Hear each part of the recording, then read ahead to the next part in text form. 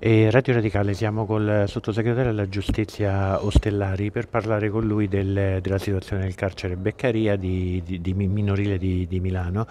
Eh, oggi c'è stata un'interrogazione, un'interpellanza urgente eh, su questo tema. Allora, ci, si sono ripetuti ultimamente anche degli episodi abbastanza gravi di violenza nei confronti de, tra detenuti.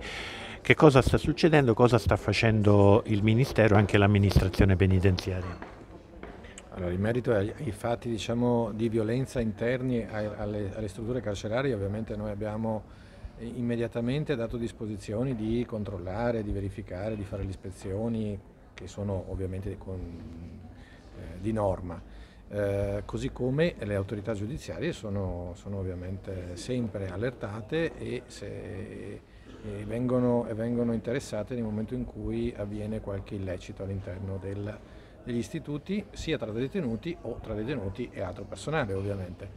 Detto ciò, eh, all'interno dei carceri minorili e in particolare del tema della giustizia minorile, io penso che sia necessario accendere un faro di, eh, nazionale perché noi ne abbiamo circa 400, poco meno di 400 detenuti in tutta Italia è fondamentale eh, riconoscere che a questi ragazzi che hanno sbagliato non dobbiamo dare premi, ma dobbiamo però consentire loro un recupero vero, reale e attraverso che cosa? Ovviamente eh, una formazione, una rieducazione con personale ovviamente adeguato, formato eh, e qui mi riferisco non solo ovviamente alla polizia penitenziaria ma agli educatori, agli psicologi, a coloro che dentro al carcere svolgono una funzione fondamentale proprio per il recupero di questi ragazzi, che ovviamente devono anche imparare qualche cosa, perché lasciare lì qualcuno eh, a guardare il soffitto non facciamo loro un bene. Magari eh, ci dimentichiamo di loro, eh, chiudendoli all'interno del carcere.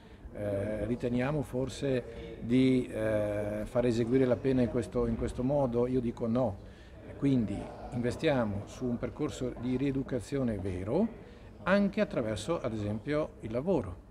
Eh, in alcuni carceri questa esperienza sta funzionando, vedi ad esempio il carcere di Bologna, vedi ad esempio lo stesso carcere Beccaria che comunque ha una sua storicità anche in questo, grazie ad esempio a soggetti che lì lavorano e che prestano il loro servizio come i, i cappellani, no? che Don Burgio, eh, che ad esempio è noto alle cronache ed è il primo a ritenere, io sono d'accordo con lui, che non ci sono in realtà ragazzi cattivi, sono, eh, sono ragazzi che eh, soffrono e che fanno soffrire.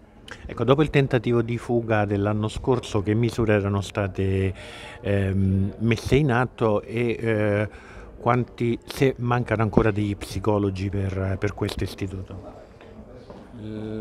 A seguito della fuga, dell'evasione della, dello scorso anno, beh, sono intervenuto anch'io subito il 26. Certo, mi ricordo, mi ricordo. Andato, siamo andati lì, abbiamo visto, ho visto io di, di, con i miei occhi personalmente qual era la situazione. Eh, ovviamente la carenza del personale, questo è un elemento che ereditiamo dal passato, non, eh, e al quale ovviamente dobbiamo fare fronte, però anche, anche, sulle strutture. E allora, per quanto riguarda la struttura, i lavori sono ripartiti subito e a breve avremo la riconsegna di un istituto diciamo, più, più idoneo. Eh, per il resto faremo una cabina di regia che riguarderà non solo la giustizia minorile ma anche la giustizia, diciamo, eh, scusate, non solo quindi il tema dell'esecuzione eh, penale minorile ma anche l'esecuzione penale per gli adulti e questo tavolo di regia sarà eh, utile per sviluppare proprio il tema soprattutto del lavoro.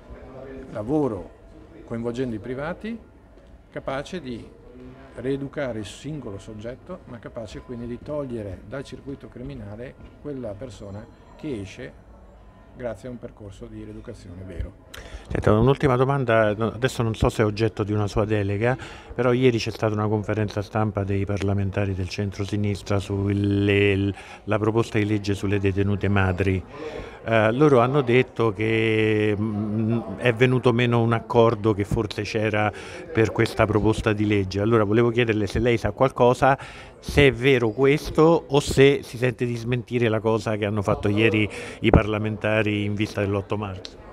Non, non conosco l'esistenza di accordi, eh, quindi... Quindi non c'era l'accordo? No, no, non Ah, conosco, non so- proprio ah. non so, Ah, non lo sa non proprio so materialmente, se c'era ok. l'accordo e, e- e che cosa quell'accordo dovesse prevedere. Quindi, Ah, vabbè, no, vabbè, le ho chiesto una cosa, vabbè, no, le ho fatto una domanda un po' a tradimento, quindi non... Eh, vabbè, no, vabbè, ma non, non l'ho fatto in senso malizioso, insomma, certo. perché lei non può sapere tutto quanto. Va bene.